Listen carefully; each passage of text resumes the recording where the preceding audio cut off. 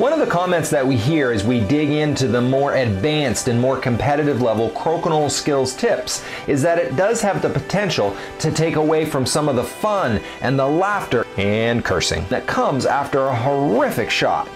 I think what you'll find as you dig in and try what we're about to cover in this video is that it will lead to some fascinating 20s that are super satisfying and it will also set up a lot more horrific shots that lead to that laughter and fun and cursing. Now last week we looked at the Rick O'Shea 20. This week we're going to build on that and we're going to put Rick in a really tight spot and see what kind of results you can create.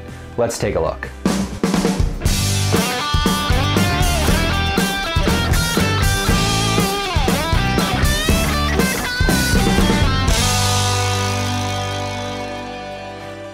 Jeremy Tracey here with Tracey Boards. If you find this video helpful and fun, you know what to do because we tell you in every video. Give us a like, a comment, a share, a subscribe. All the cool kids are doing it for more great crokinole content. If you missed it, click here and go back and watch last week's video about the Ricochet 20, the Angle in 20, what our video guy Mac calls the Tokyo Drift. This video is going to build upon that. And quite honestly, this is more about showing you something that is possible for you to pull off on your crokinole board more so than teaching the skill.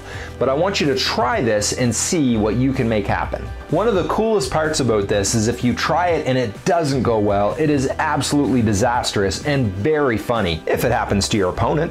We are talking about the situation that quite often sets up when the opponent's disc will be just outside of that 15 circle, maybe even touching that 15 circle line, but quite close to, if not touching, a peg.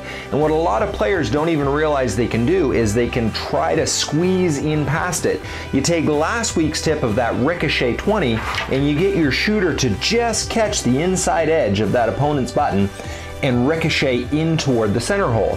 Now, I can't explain the physics of why this is true, but in my experience in playing and watching crokinole, so often, if you are able to squeeze past that button, a very high percentage of the time it will end up going into that center hole or at least very close to it. But if you don't get that angle right, if you don't catch it at just the right angle and get your shooter past that opponent's button, it's disastrous. Failure, humiliation, shame upon your family's name. Well, that's what I tell the boys. So here's your challenge should you choose to accept it.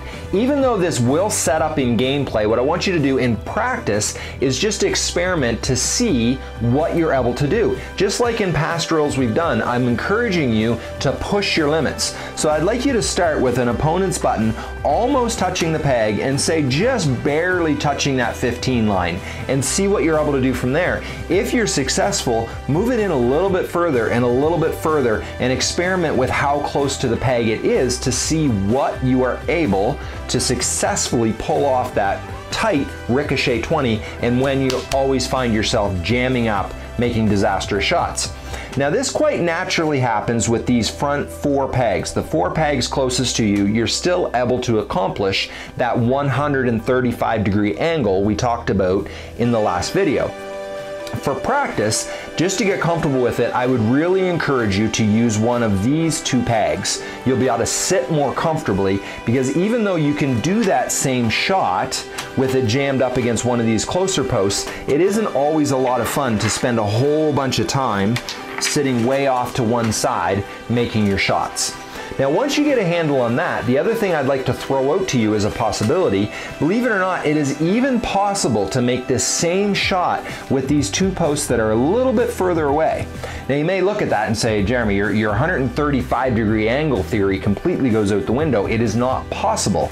But here's the thing when it is there, and again, don't ask me the physics on this, it just works really well. If it is quite tight, to that post, what you'll find is your shooter will jam a little bit and that jamming, that wedging up against that peg will alter that 135 degrees and allow you to, again, the success rate on this is higher than you'd expect, that it will jam up and your shooter will end up drifting over into that all elusive 20. One of the great side effects of you playing with this and taking it into your gameplay is that even if you are one of those selfish people who doesn't share these crokinole tips with every crokinole player you know, like you should, Once people see you do this and they realize that it's possible, they're naturally going to try it themselves. And you're either going to get to see them make a great shot, or you're going to get to laugh at them after they make a horrible shot. Regardless of the outcome, I really feel that by trying this tight Ricochet 20, it's going to add to the fun, add to the laughter, add to the cursing, while you and your friends enjoy the greatest game on earth. Ah, I screwed that up. The other, the other way. Here? Yeah. Here, here, Attica enough. In your face, mother. You can just take the add to the cursing.